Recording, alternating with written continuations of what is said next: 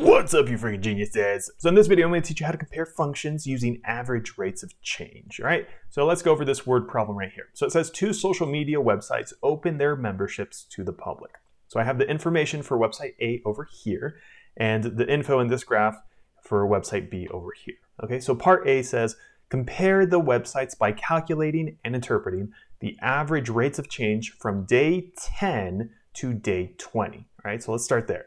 So we're going to calculate the average rates of change for each one for website A and B from day 10 to day 20, okay?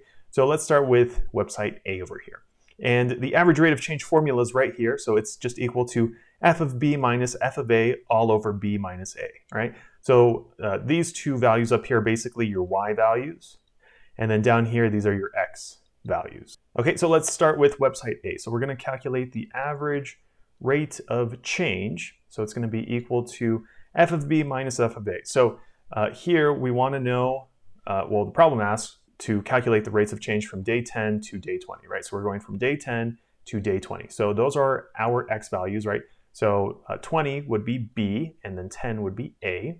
So then f of b would be 2150, and f of a would be 1400. Okay, so then here the average rate of change is equal to and then we can fill in this formula just to clarify a little bit. So the average rate of change is equal to f of 20 minus f of 10, all over 20 minus 10. Okay, and then this is going to be equal to, so f of 20, so what's our y value at day 20? Well, f of 20 right here is 2150, right? So 2150 minus f of 10. So what's our y value on the 10th day, right? So this one right here, 1400 okay?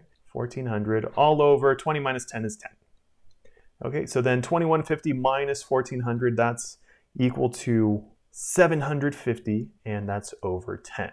Okay, and just to clarify our units, what are our units for our y values? Well, for our y values, it's members, right? So we have 750 members.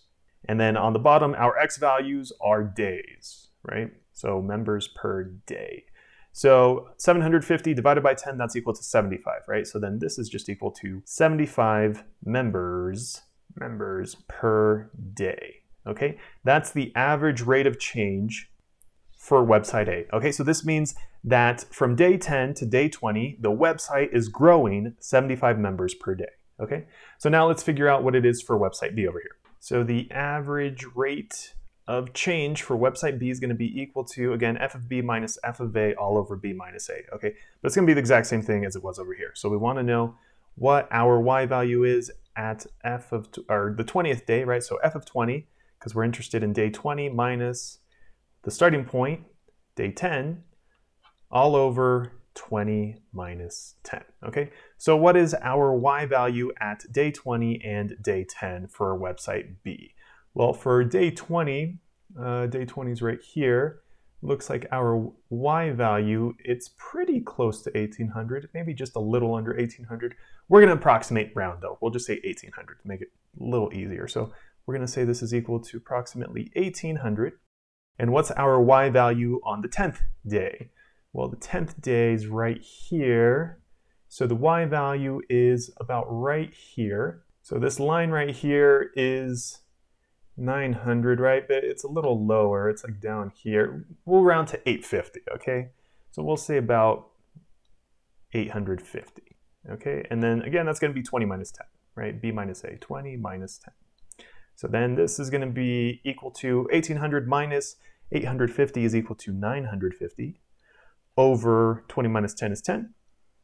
So then remember this is members and days on the bottom. So then 950 divided by 10 is equal to 95, right? So 95 members per day. Okay, so website A is growing at 75 members per day from day 10 to day 20, and website B is growing at 95 members per day from day 10 to day 20, right? So in this specific range from day 10 to day 20, website B is growing faster, okay? Now, what does part B say? So it says predict which website will have more members after 50 days. Explain. Okay, so let's start with website A over here. Okay, so first of all, it doesn't go all the way to day 50, right? It only goes to day 25. But something you might notice with uh, the members, how it's increasing is that it's constant, okay? So to get from 650 to 1025, you add 375. To get from 1025 to 1400, you again add 375. To get from 1400 to 1775, you add 375. And then it's just same thing over and over, right? 1775 to here, you just keep adding 375 over, okay? So website A is growing at a constant rate, right? It's predictable basically because every five days it's growing by the exact same amount, 375 members. Okay, so if you imagined that on a graph, that would be a linear graph, right? It would be a straight line. It would just be growing constantly like that, right? Because it's always 375 people. Okay, so the latest data that we have is day 25. So we could say that day 25, let's say uh, day 25 is like right here. And then um, our how many members do we have at day 25 for website A? Uh, about 2,500, right? 25, 25. So we'll just say that. Uh, let's see. Let's say this is about 2,500. Okay, so for website A at day 25, it's at about 2,500, right? So we're about here. So we could even predict about where we would be, right? So from day basically zero right here to day 25, we grew 2,500 people. So to get from 25 to 50, which would just be another 25 days, this would basically double to 5,000, right? And these are just approximations, okay? So that's how you can kind of tell how website A is growing. Now, if you look at website B over here, you can see that the graph over here is not linear, but it's exponential. So exponential just means it basically starts off slowly, but then the slope gets steeper, steeper, steeper, steeper, steeper, right? And then it's just gonna grow really fast towards the end, right? So for website B, right now, it, it, only goes to 25 days, right? Just like website A, right? This is 25 days. And then that's basically where the graph ends. So what is this number right here? Well, this is, well, it's going every 300, right? So this is 2100. So this is 2400. Okay, so it's a little less than our 2500 over here, right? So for website uh, B, at 25 days, it's at 2400, right? So 2400 would be, you know, about there-ish, right? On day 25, we're at 2400 for website B. And also, website B started at 600, right, at day zero. So we could even say that this is like 600 right there.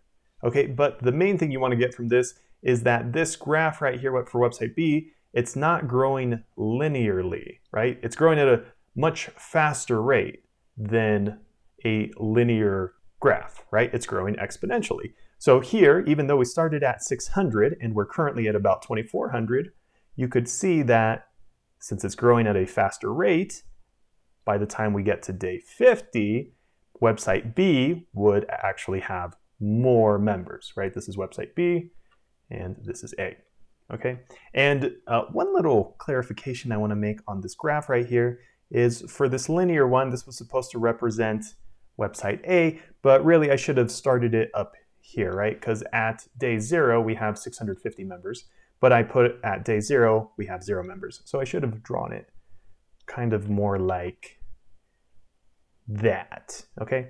But still, everything still holds true. Website B is still growing a lot faster because it's growing exponentially and website A is just growing linearly. So if you found the video helpful, definitely leave a thumbs up down below. And if you have any other questions or want to see any other examples, just let me know in the comment section below.